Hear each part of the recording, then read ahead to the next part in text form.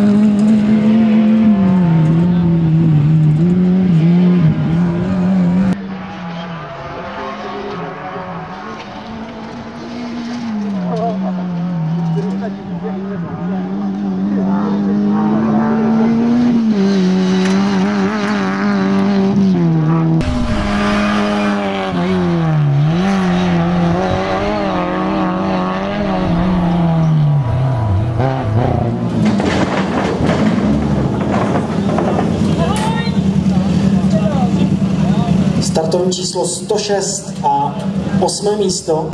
A jsou druzí ve skupině i druzí ve třídě s celkovým časem 52 minut 37,6 vteřiny.